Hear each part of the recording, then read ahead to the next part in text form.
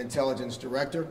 Uh, she will be the internal lead of our Open Source Intelligence Task Force, uh, which is one of the major pillars uh, of the strategy that we implemented during the post-pandemic violent crime surge. Um, murders in New Orleans are down about 40% so far this year, uh, part of the nation's quickest homicide rate decline. Uh, just two years ago, New Orleans' homicide rate uh, was the highest in the country, um, something none of us were proud of. The numbers show that crime has been steadily declining since 2022. The chief was absolutely instrumental in executing the vision that brought crime down. Uh, this work with Open Source Intelligent Task Force is one of those biggest factors. Chief Woodfork will be playing the role of, uh, we were just talking about this in the room, of a, of a honey badger. Um, she is running point on building the best cases possible on the most dangerous, violent repeat offenders in the city so that we can all just live in peace. The number of people who are truly terrorizing the streets of New Orleans, it's not a big number. Uh, and that number will be her focus. Uh, she will be working directly with OSINT, Open Source Intelligence Task Force, which she is already intimately familiar with. Um, as the superintendent, she was present uh, at the very first meetings to create this unit uh, in the DA's office. This program that the DA's office created with uh, NGO Bancroft Global uh, at the height of the crime wave has proven itself successful.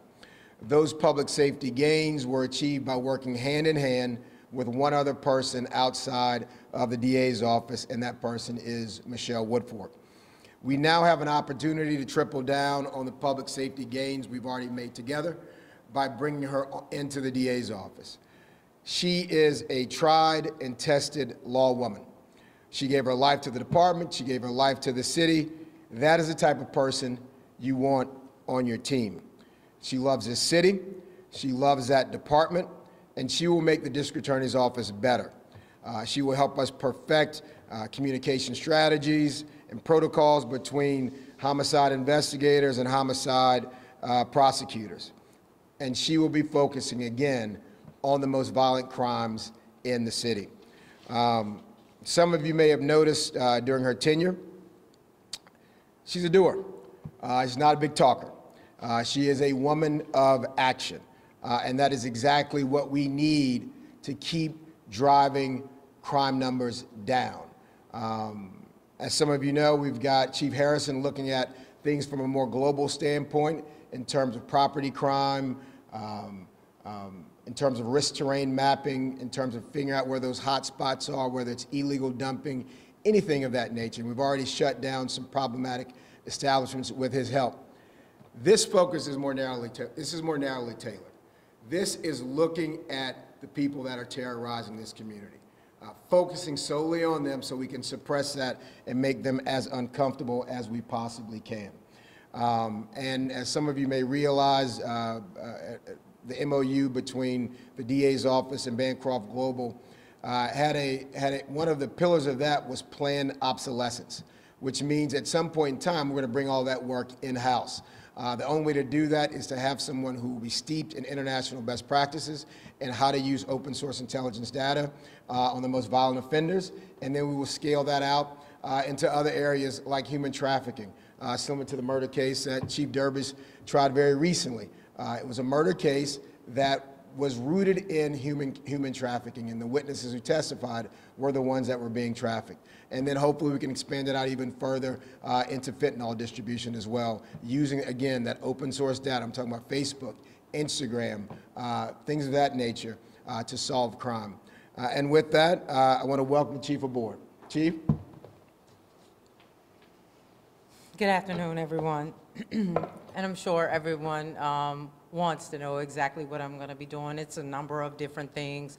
Of course, working very closely with the NOPD homicide detectives and also um, their supervisors, making sure that uh, report submissions, a, a, timeline on that is um, steady and flowing very quickly.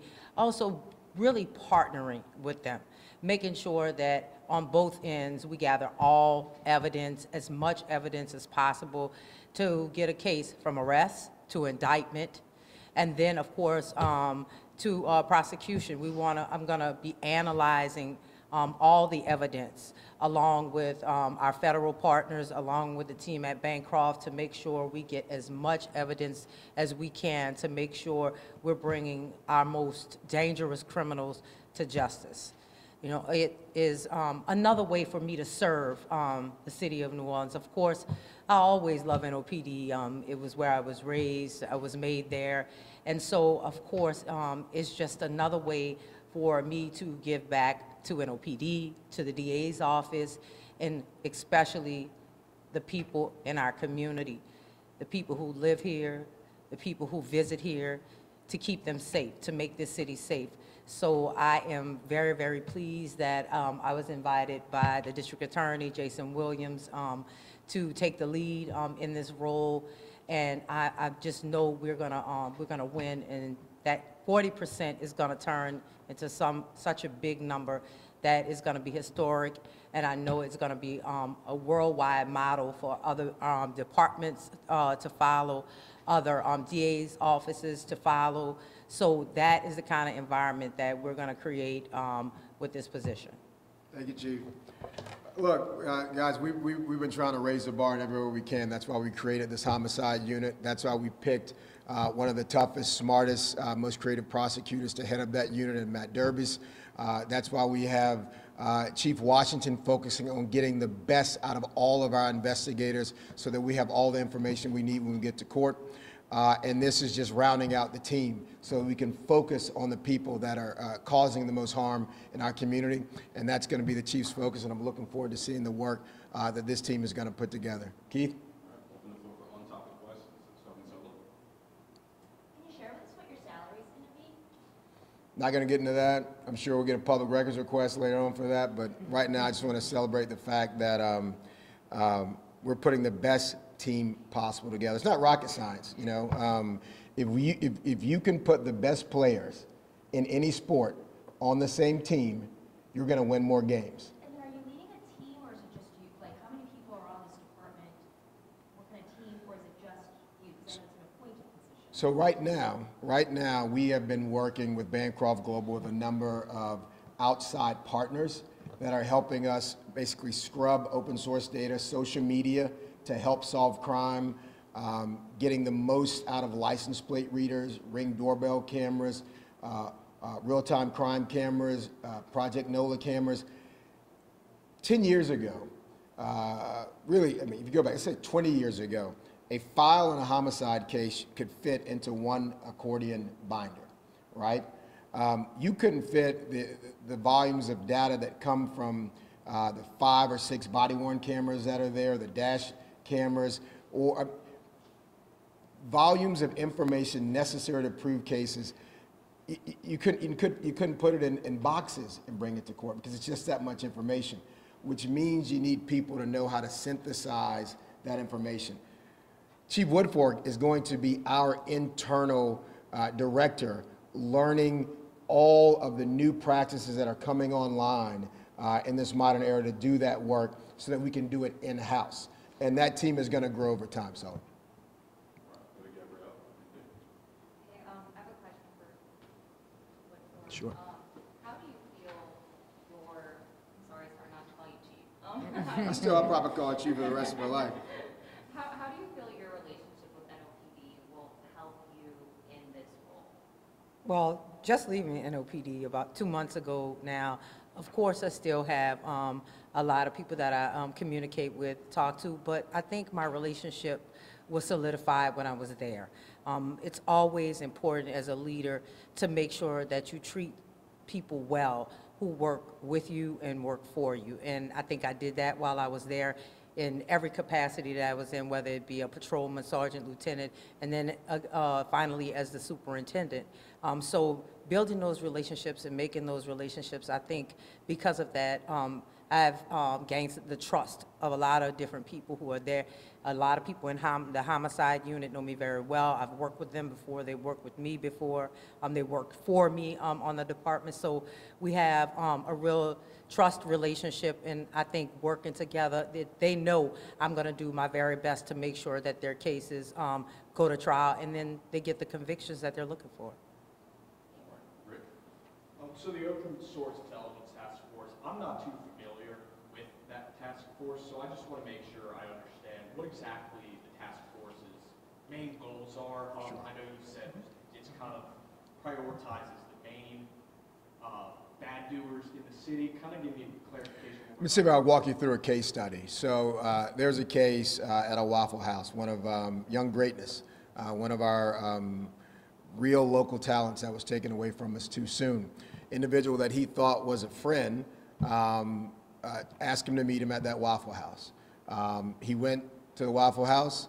Uh, they sat, they talked, uh, and as he was leaving, uh, two individuals came from behind a dumpster, opened fire on him, killing him in that parking lot. Right? Uh, we had no witness in that case. Um, no one was coming forward.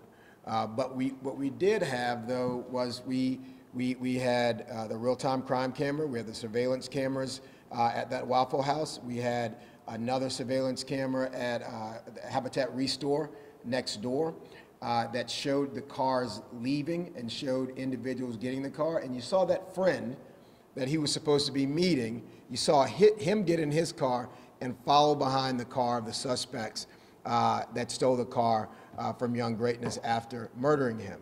Uh, and then a ring doorbell camera picked up those individuals getting out of that car and getting into the other person's car. A license plate reader uh, was able to give us a license plate of that car. Now, we, at that point in time, we didn't know what was going on. We didn't have all the pieces. We had, were able to piece some of this together later on. But that license plate reader led, led us to the name of a woman. Obviously, no woman was involved in this crime. However, we were able to track that name down to her Facebook account. And on her Facebook account, were able to see her with that very same guy that was in that Waffle House meeting with Young Greatness, right? People putting their lives and their worlds out here and for the World Wide Web, right? Checking in when they go into restaurants, uh, taking pictures with different people. Uh, and so that information is good information in court. That information can connect the dots between in terms of why someone did something, who did it. Now, the person uh, who was convicted of that crime, he didn't pull the trigger. He got his young cousin and his young cousin's friend, two juveniles, to commit that crime. But we would have never been able to put that together if it wasn't the scrubbing of that open source data, social media, to connect those dots to actually let us know what those cameras uh, were telling us, to really put the web of criminality together. So, open source intelligence task force, you got regular police work that might be knocking on doors, uh, checking those surveillance cameras, seeing what we have in that information, picking up the casings from the ground, um, looking for murder weapons. That exists. We know that stuff. But there's a whole nother area in this sort of digital forensic space uh, that, is, that has been largely untapped uh, by the criminal justice system that we are now delving into in a much more robust fashion. Um, it would take a lawyer, I don't know, months to go through someone's entire social media profile just looking for that one piece of information. It might be, in some instances, the clothes that someone is wearing uh, one Christmas. It might be a very unique uh, sweatshirt or sweater, and the, and the perpetrator on camera is wearing that same sweater uh, and sweatshirt, and we can connect the dots there, even though their face is masked. It takes a lot of time to do that work. Um, it takes a lot of technology and software to do it well. Um, and so the team that's doing it now is going to be working with the chiefs so that we can do that internally and hopefully expand the types of cases we're dealing kind of like a digital technological forensics. Exactly right. Exactly. And then um, another question, um, was Miss Woodfork, was she the only person that y'all, you know, y'all, y'all had an opening for this position, y'all were like, she's the perfect person for this job, or were there other people open for this job, and y'all decided to narrow it down? It was, it, it was always uh, Michelle Woodfork.